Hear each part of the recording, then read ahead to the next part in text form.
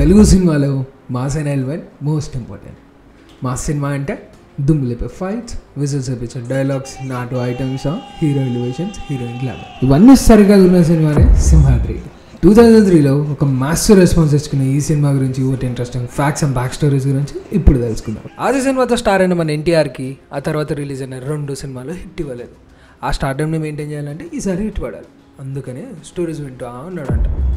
కానీ ఒక్క స్టోరీ కూడా నచ్చలేదు. అప్పుడే విఎంసీ బ్యానర్లో కల్సుందమ్రా ఫేమ్ ఉదయ్ శంకర్తో ఒక సినిమా స్టార్ట్ చేసి రెండు సాంగ్స్ షూట్ అయిపోయాక అవుట్పుట్ నచ్చలేదని ఆపేశారంట. ఇంకో side Rajamouli second movie Raghavendra గారి కొడుకుతో కమిట్ అయ్యారంట.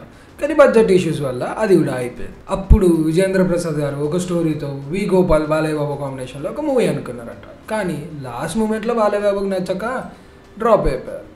కానీ రాజమౌళి వేరే హీరోతో తీస్తా అని చెప్పి పక్క పెట్టుకున్నాడంట. ఆ స్టోరీ సింహాద్రి. విజేంద్ర ప్రసాద్ గారికి నైన్టీన్ ఎయిటీ టూలో మూనరెపిరై సినిమా చూస్తున్నప్పుడు వచ్చిందంట ఈ ఐడియా. సింహాద్రి సినిమా టైంకి జూనియర్ ఎన్టీఆర్ ఏజ్ ఎంత తెలుసా? నైన్టీన్ అంట.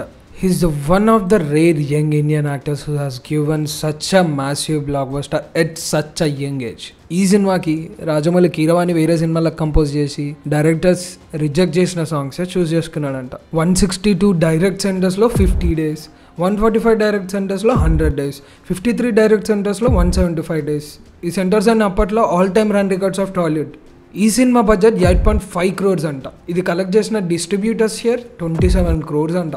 ఈ సినిమా తమిళ్ళో కన్నడలో బంగ్లాదేశ్లో కూడా రీమేక్ చేశారు. లాస్ట్ ఇయర్ ట్వంటీ ఇయర్స్ తర్వాత మే ట్వంటీ రోజు ఈ సినిమా రిలీజ్ చేశారు.